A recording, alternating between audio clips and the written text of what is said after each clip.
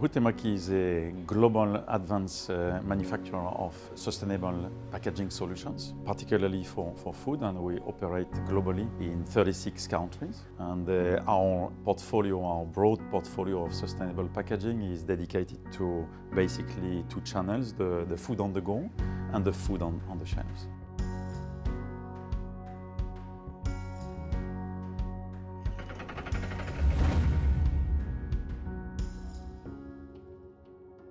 So as a global multinational, we owe it to ourselves to make sure that we also work with those who adhere to the same sustainability ambitions or targets.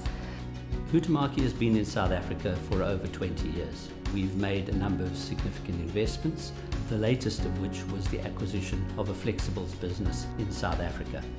We also have just approved a new molded fibre facility adjacent to the flexibles business in Durban in South Africa.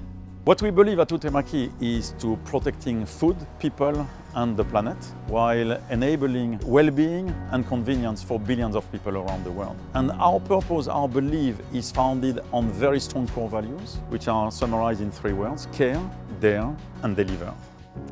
It's really important that we support the UN SDGs right now. We have a burning platform. We all know that we have to change the, the way we do things. So the way we look at it at is doing it in a stepway approach. So our 2030 targets, we hope to reach them before 2030, but we know we have to reach them by 2030. Packaging has a tremendous impact. First of all, when you consider the population in the world and the fact that the population is growing so fast, we need to make food available everywhere in the world.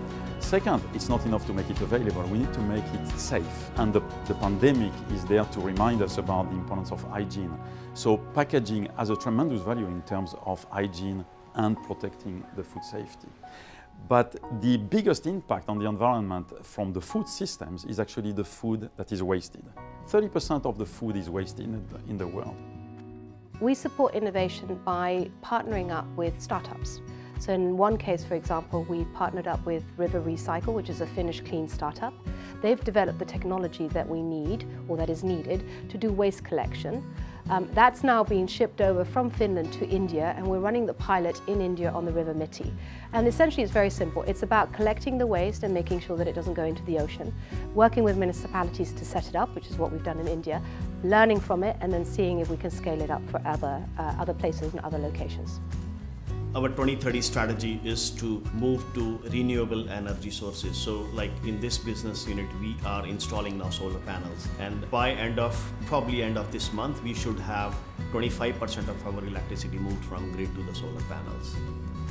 What we're doing at the moment is we're doing some trials with a number of customers particularly around paper cups so that we can actually convert paper cups to egg cartons so Huhtamaki is making the flexible packaging sustainable by making it recyclable.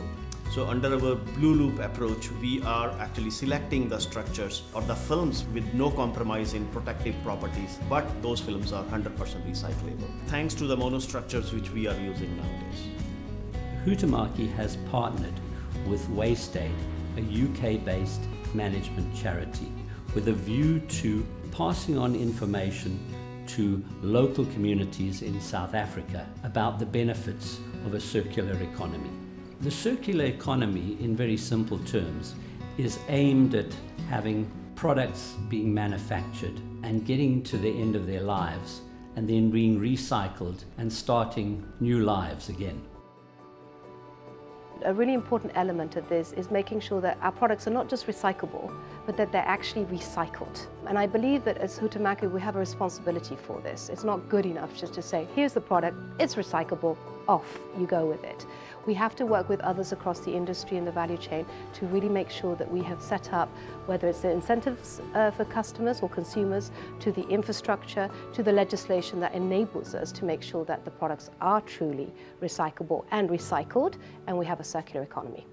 A circular future looks like a future where we're material positive. So we choose the right material for the right situation, where it's environmentally viable and we can actually scale it up in a way that makes a difference. Our role as an industry is to always look forward and look forward to what's happening in the world today, what is likely to happen tomorrow, and, and try to anticipate.